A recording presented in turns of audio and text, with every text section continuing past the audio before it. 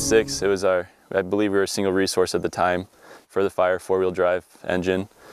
And we went to briefing, got our division, got our assignments for the day, and we went up the road a little bit to where we're gonna make our safety zone and burn out that. And that's where we start our day, up the road. And we burned that, and then we moved on Del Venturi to the horseshoe where we are now. And the fire was to my right, up quite a ways, a few slopes back. And their main goal was to save the horseshoe from burning. After that, we, like I said, we just waited for our water tender to show up to fill up with water. And then once we got our water, we continued down Del Venturi and waited for our burn show to start and just support the crews while they burned. It's blowing down. Yeah, It's gonna come right down on Rio Bravo there. Springville Hot Shots, ops training. The plan is just to keep supporting the Fulton Hot Shots and if anything flared up too big, we would cool off that area just so we didn't get any spotting or anything into the green and just continue down the road and let the fire, our burn operation catch up to the main fire so we could hold it on this road. Then we got a call over the radio for a spot fire that was way back towards the base of that mountain and there's a creek bed between us and that so we decided that it was unsafe for the engine to go attack at that time. And then just shortly after that, we got all five by five spot fire on the side of the road. So we decided to go and engage in the one right off the road. And Roberto, the captain, took Sean and Chris, and they were just gonna start walking their way over there. And we're gonna meet up with the engine. And I stayed back to turn the engine around. Once I got them turned around, I jumped up on the step of the engine.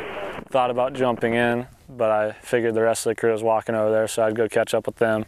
I uh, took off down the road. I started hearing cracks, and I looked over to the burn side, and a branch was falling out of a tree and took over the road. This limb that's on the side of the road had fallen off the tree and shattered me with all of its limbs. That broke. So I kind of, I turned to see it, and then I kind of just like went back and sheltered myself, you know, crouched down, protecting the head. And when I did that, I noticed that this field is starting to light up really easily. So at that time I, was, I had the contemplation, do I go back to the engine now that there's fires breaking off our escape route basically to the engine? And um, for a second I was thinking, yeah, that's what I'll do. So I took a step back and then I looked up and saw the rest of the crew up there still going towards the spot fire. And that's when I looked back and I noticed Frank covering himself right when the limb fell and hit the road. So as soon as that tree came down and it threw embers everywhere, then this whole side seemed like it was like area ignition and everything just went and all the light flashy fuels were all burning at once at the same time. And that's when everything, all the wind started picking up. And I remember looking around and turning and looking all around me. All I see was everything blowing around and the limbs coming down. And that's when I felt the, all the heat first hit us. And at that time, I mean, the main thing was just our breathing was the hardest part. And I remember lifting up my collars on my yellow and just covering myself and my ears and just putting my mouth in my yellows just to get some clean air and just because it was so hard and hard to breathe. The unusual um, thing was um, the, the strong winds and branches that came, came flying over us, rocks, embers, just a big old burst of wind that came through and started um, tearing branches off the trees and uprooting um, shrubs and picking up rocks and, embers and just rotating around us. So I was continuing up the road and then we had a, a dust devil come right through here right when I tied up to the crew. It just started throwing really big rocks at us. So we started running down the road away from the engine, trying to get away from the dust devil.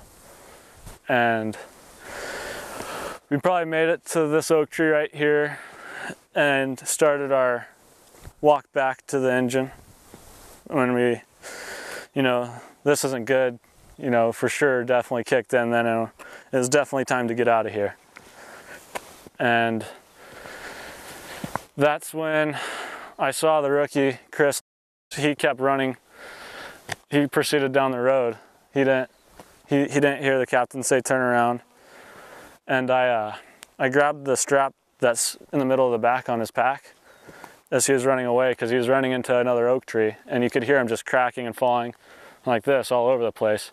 So I grabbed him and told him he needed to turn around.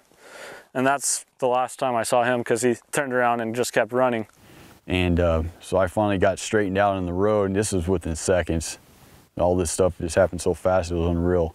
Um, the, there's a big limb that pretty much got plucked right off the tree, and landed in the road, and through, I counted them because you can't mistake five spots, and little spots just right off the road.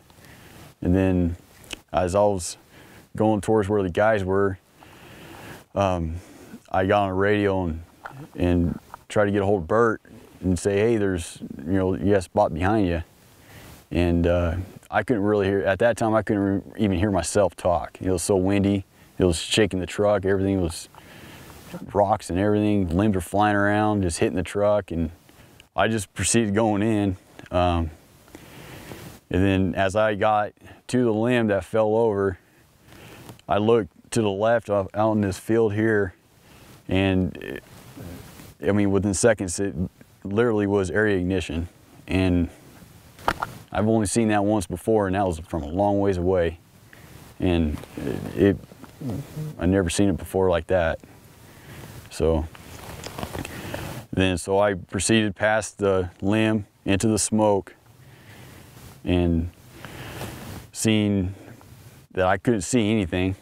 It was so black and dark, couldn't hear anything besides all the rumbling and stuff just flying around, hitting the truck and just chaos in there. Um, I wasn't getting any response back from Bert and all them, so I, I didn't know exactly where they were, where where they were. So I went down trying trying to get them. I finally got to a point. It was probably about 50, 50 to 60 feet after the the limb that was down back here. Um, and that's where I picked up uh, Chris. And I couldn't see him. I almost ran him over.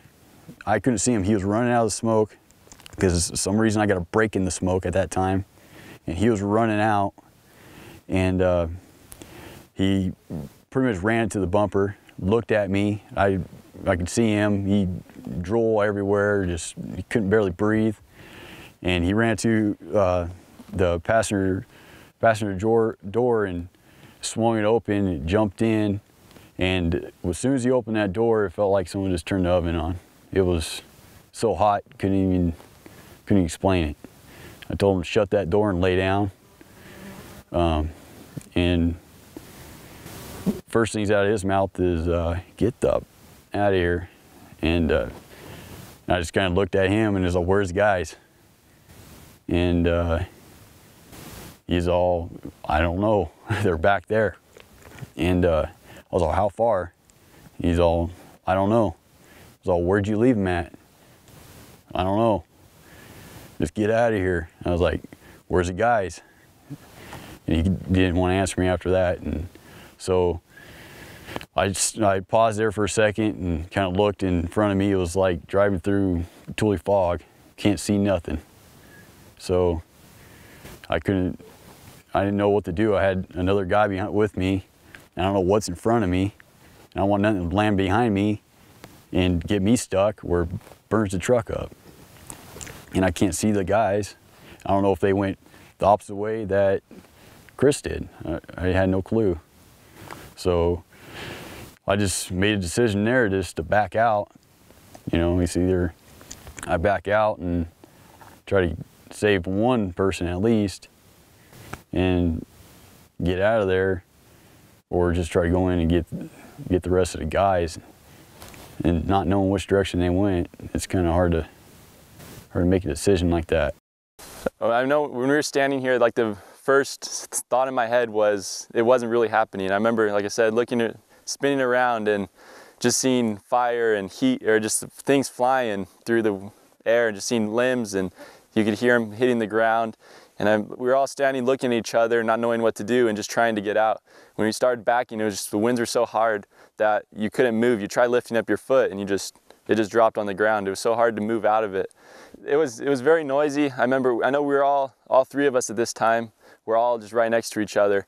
And I could look up at Frank and our captain, but you couldn't hear anything. I could see their lips moving, but you just couldn't hear a thing.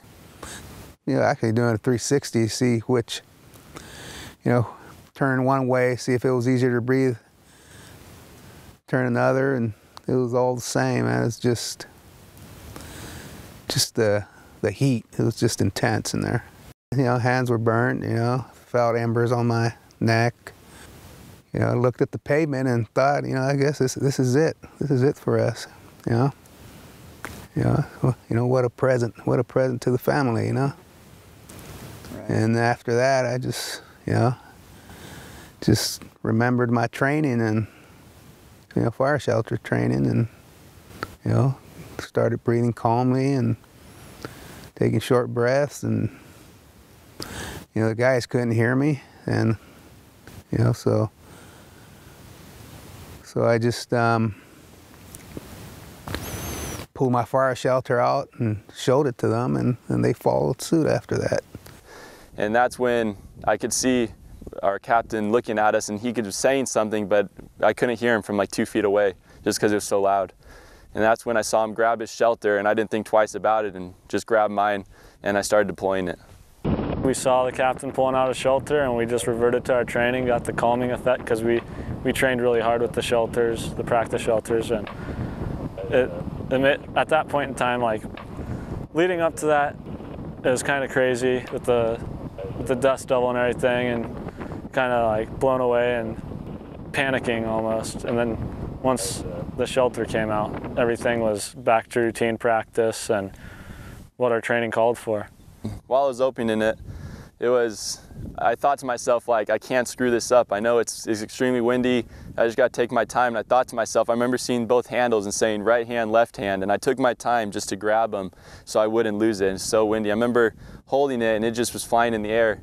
And it was like the hot dog shape. It just wouldn't open. I remember I had to go and kind of peel the side before it kind of blew open.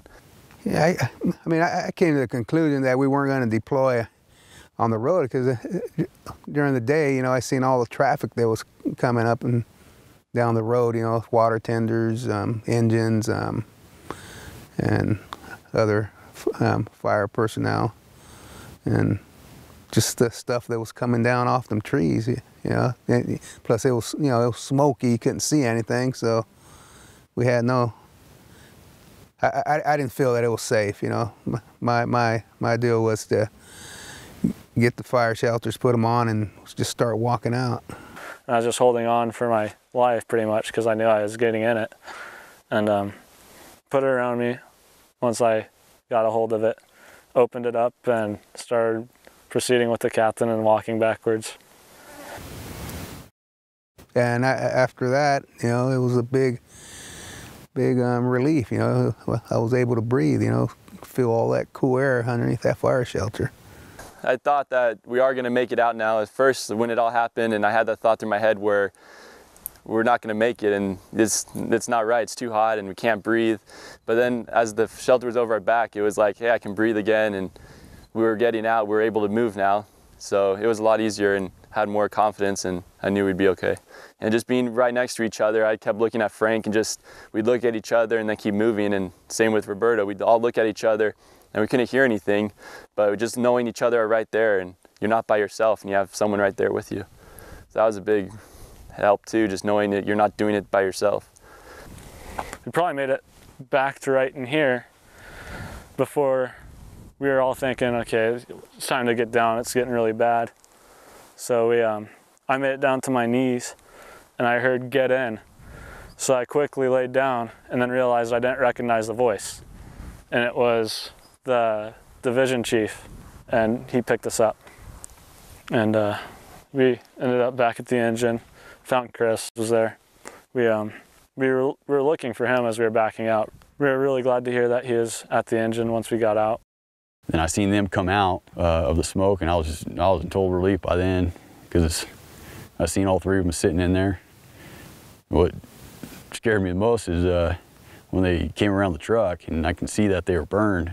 I didn't say anything to him, so I don't want to make him freak. And uh, a couple of them jumped in the truck. Then uh, I seen Bert kind of walk off a little bit, and then he asked me to to take his uh, his gear off. So I took his gear off.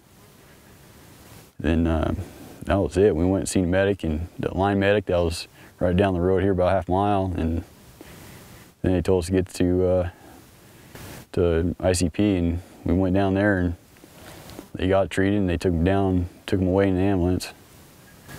And that was pretty much it.